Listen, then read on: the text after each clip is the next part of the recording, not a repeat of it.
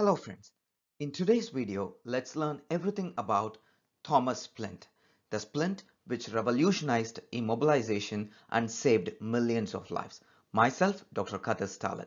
This splint is named after Sir Hugh Owen Thomas and this splint was primarily used as a first aid splint to evacuate injured from no man's land. Later as a bed splint for weight traction during fracture healing. Thomas' original objective was to immobilize the knee, especially as a process to facilitate the outpatient management, particularly for patients who were affected with tuberculosis. But later he adapted this for managing the fractures of distal third quarters of the femur. And then it's now utilized for traction in bed for effective treatment. So what's the impact it created during the World War I? It reduced the mortality rates for gunshot wound to the thigh and the mortality rate decreased from 80% to 20% with the introduction of the splint. What are all the parts of Thomas splint?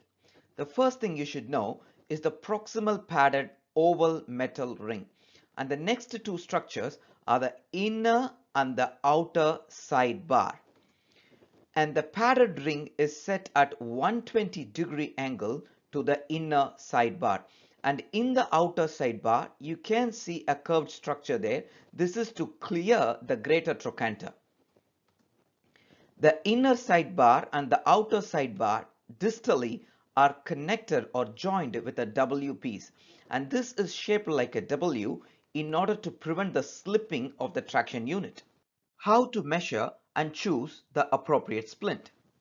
First, measure the oblique thigh circumference below the gluteal fold and ischial tuberosity.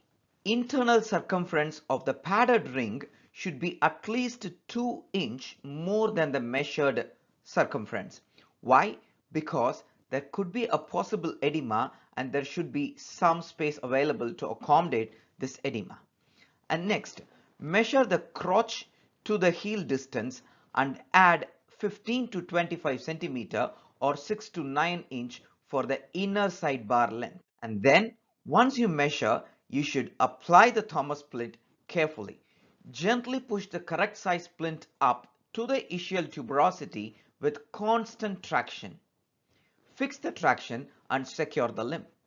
To dynamize, lift the leg end of the bed and the traction unit would apply the traction while the gravity would apply the counter traction thereby the splint can act like a sliding traction unit as well. What are all the potential complications that can happen with Thomas splint?